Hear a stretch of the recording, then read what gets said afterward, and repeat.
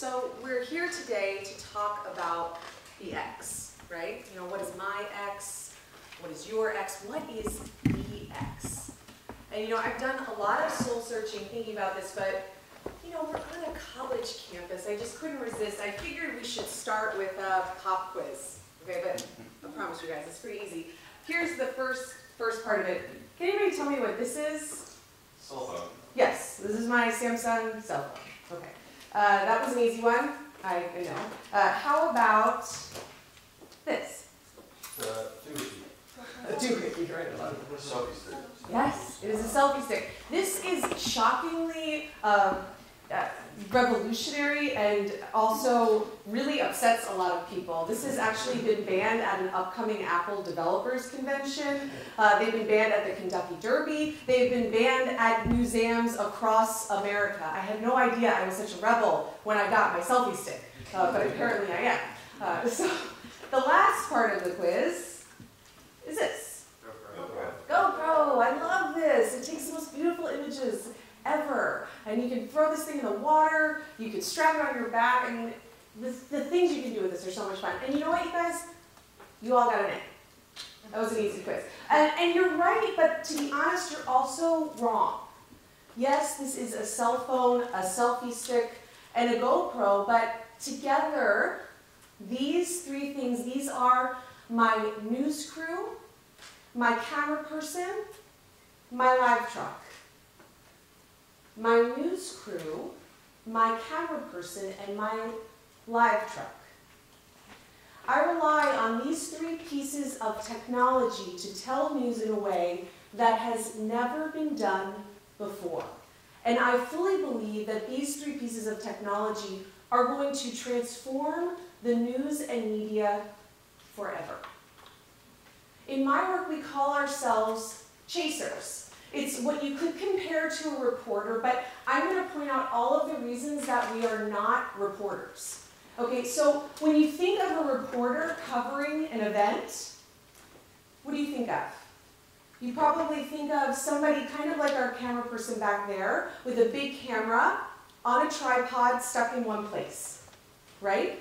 So I want to show you what I do uh, when I cover an event. This is really going to blow your mind. I, uh, I go like this, and I walk around. I'm not kidding. This is what I do. And sometimes when you cover a story, you want to put yourself in it. You want to show that you're there. Uh, so I do this thing where I, uh, it's going to, again, blow your mind. I reverse the camera, and I hit record.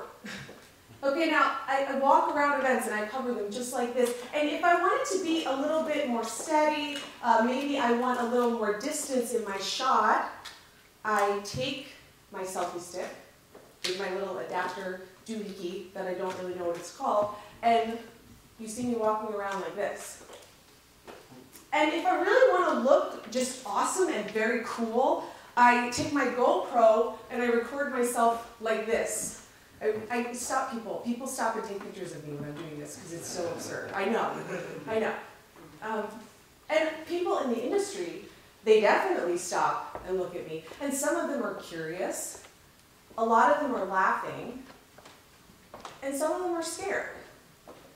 Some of them are scared about what this implies for the future of my industry and, and what it means.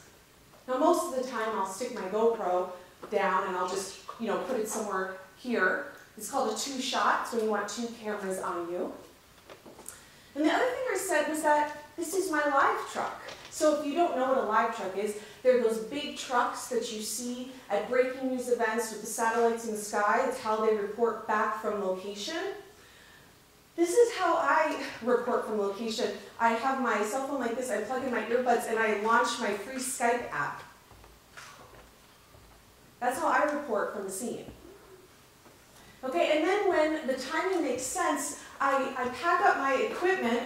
It takes a lot of time. And I go back to the studio. And when I go back to the studio, I sit around the studio. And here, I think I'll put my GoPro over here now. Uh, let's get a new angle. I don't use a teleprompter. I tell people in the newsroom the stories that I've researched and uncovered, and then to top it all off, we have a conversation about it. Now, this can be a little bit difficult to conceptualize and visualize because right, right now you see a cell phone and I'm walking around with it and you say, okay, that's kind of quirky and different, but how does this really turn into something that makes it on the air every single night?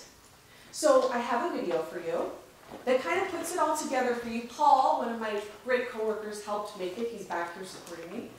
And I want you guys to see what it is I do every day. Obligation to be a voice that is not shared and not heard often enough. Governor, uh, there's been some criticism of the cost associated with the report. Veronica, in your ongoing chase of Governor Christie, this time it took you to Washington, D.C. I am in Atlantic City, Annapolis, Maryland, here at the State House. So I'm here, I'm in New Hampshire, then headed to the Maryland State House. So let's get on the road. Okay, one quick stop, coffee, of course.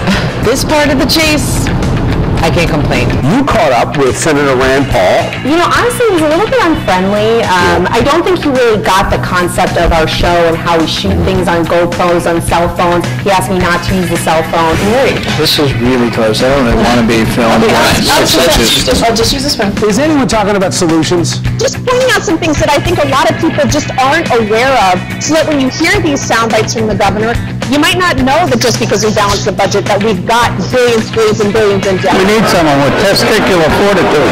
That's what I call it. Showtime, baby. Governor Christie's about to give his remarks. the governor of the state of Maryland, Governor Larry Hogan. Now, after Governor Christie's remarks, I had a moment to speak with Lieutenant Governor Kim Guadagno. What we're trying to do is fix the problems today. This is an issue where Governor Christie can really walk a, an awesome bipartisan line because Republicans are going to love it as a Second Amendment victory. It's about 10:15. This thing doesn't even start till 11:30. It's in the 30s outside. It's supposed to start snowing at 11, and this is part of the chase that's not always much fun. You've got all of the press here on their tripods, stationary, stuck in one place. And I'm here covering this with my GoPro and my Samsung on a selfie stick. It is really cold outside. It hasn't started to snow yet, so that's a good thing. Of course, it is snowing now. She's actually wide awake right now and she's getting her breast implants as I'm here Skyping with you. What made you decide to go through with the breast augmentation? I spoke with Dolores Zindel Reinhardt. Now, she lost her daughter to a domestic violence dispute. As she told me her story and we looked at the pictures, you know, we, we couldn't help but cry together.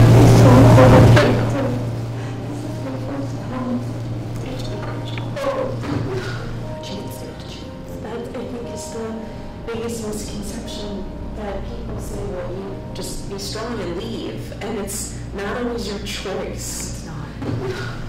It just has to be So I am back in my car. I have about a two and a half hour drive back to the studio.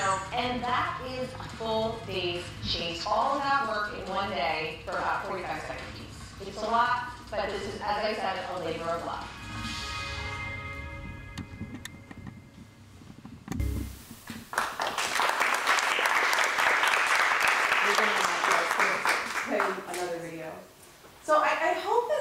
Video gets you excited. I mean, it gets me very excited about what I do. And in that I'm happy to play. I don't want to. Wait, a little technical. Let's see. I think it went on to the next video. Oh, yeah. That's okay. I'm not paying this, and when I pass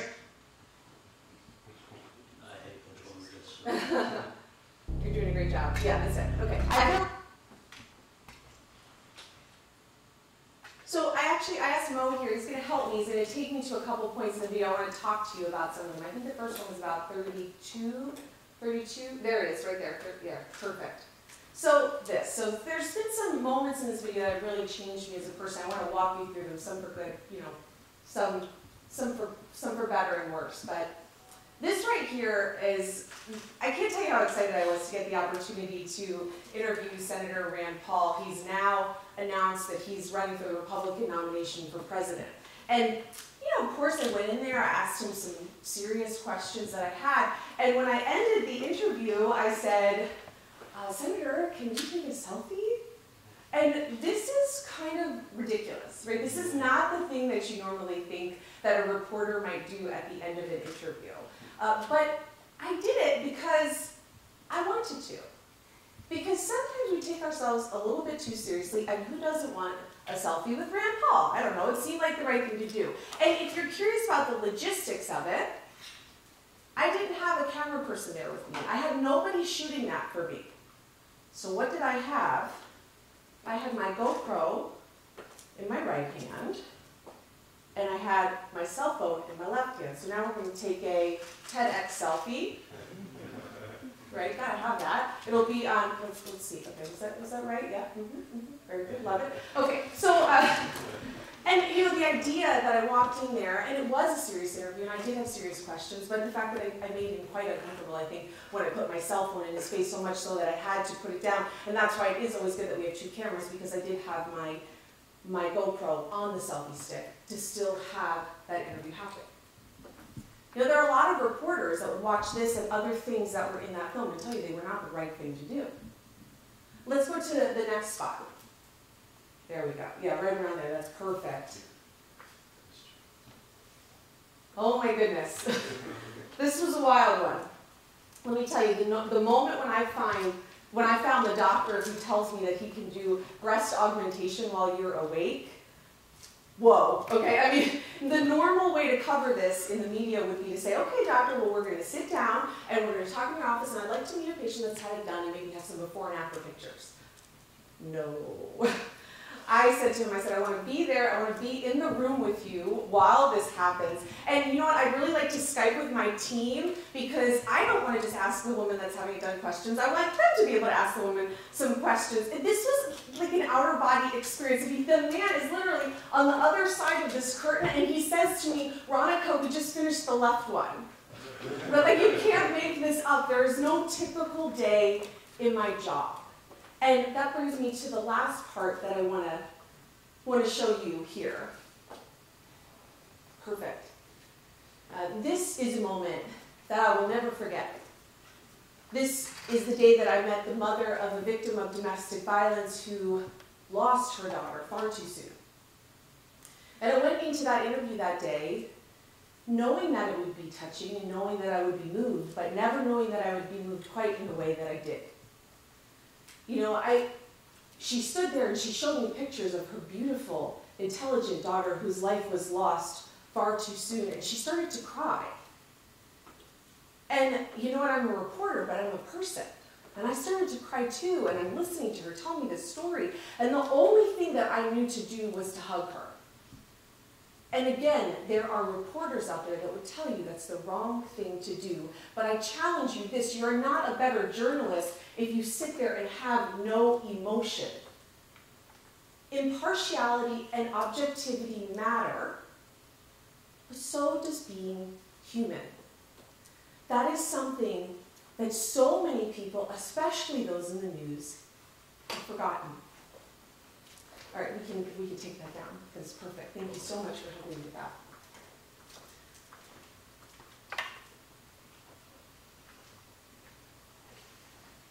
So the second part of that video is what happens inside the room. The conversation. The idea that I come back after I'm in the field reporting on my stories and I don't use a teleprompter, I don't read what's in front of me. That is something that is on every newscast that you see every night in America. And then after we report on our stories, we have a conversation about it. Now, the idea and the intention of that conversation is to sort of mimic what you might have around your kitchen table. Share ideas, debate, have a conversation. And that is not scripted. There are times when I leave that room and I don't want to talk to my coworkers because I can't believe they think the things that they said. There are times in that room when we laugh so much that the conversation has completely derailed because we're covering something completely insane. And there are times when we change each other's minds because that's life. That's what happens when you have a conversation about the news. That's what happens when you have a conversation about the media. You know, this experiment in media, it's about using technology and truth to tell stories differently. You know, my producer, he sums it up like this. He says, it's about humanity. And what we do can be incredibly intimidating. Here's one consistency that you'll find amongst all of the media, including our own. Every night when we interview our subjects, we ask them to put themselves on the line. We ask them to share some of their most personal, intimate stories and experiences with the world, to open themselves up for judgment, ridicule, whatever it may be. And the difference is that we attempt to meet them in the middle and do the same. You know, I believe that what I do is my X. Delivering the news in a revolutionary and compassionate way. It fulfills me in a way that I just didn't even think was possible. Right? I mean, the running joke in my office, we say, we say TGIM. Thank goodness it's Monday. And if you can believe it, we actually mean it. Because Monday represents a new beginning, a new opportunity to do something cre- creative and different, to take this industry and turn it upside down, to do what we believe will make it better. And when I think back on it all, it scares me a little bit because I realize I could have easily let fear and judgment and what is practical and safe stop me from finding my X. When I was offered the opportunity to work here, I had a perfectly safe and respectable, good job here at Drexel. And, you know, when I came home that day and told my husband, I said, I'm going to quit my job and I'm going to work on TV, honey. Uh, you can imagine his excitement. So he said, you know, said, wait, okay, wait, let me, let me hear about this. What are you, what are you talking about? So, so he says, uh, well, tell me a little bit about it. Um, where is the studio going to be, Veronica? I don't know. We don't have a studio yet. Um, okay. Uh, well, who's going to host the show? I don't know. We don't have a host yet. Okay. Uh, so, uh, but then when is it going to air? We don't have an air date. Uh, okay, all right, Veronica, let's, let's try this differently. Uh, what do you have? Well, this is what I had. I had an idea, and a vision, and something that I believed in. We were going to tell the news with our cell phones and then talk about it. When I think back on how crazy that sounds, honestly, like sometimes I can't believe I did it.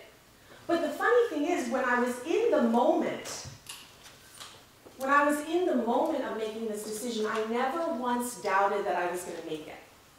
Never. Because in my gut, in my instinct, it felt right. It felt like something I had to do, like there was no other choice out there. Finding your X, it's about forgetting your fear and trusting your instinct. The X is a journey of infinite possibilities, only limited by the preconceived notions that you bring to the table. The preconceived notion that you can't tell the news with a GoPro or a cell phone. And here's the thing I think that we all have the same X in this room, even if you never want to do the job that I do. The X is your joy. The X is what feeds your soul. The X is your bliss. And I challenge you to take risks and do whatever you can. People are going to laugh at you. They're going to judge you. They're going to think you're completely insane when you're standing there with a selfie stick and a GoPro talking to yourself in the middle of a breaking news situation. But I promise you, it will be worth it, and you won't regret it. Thank you.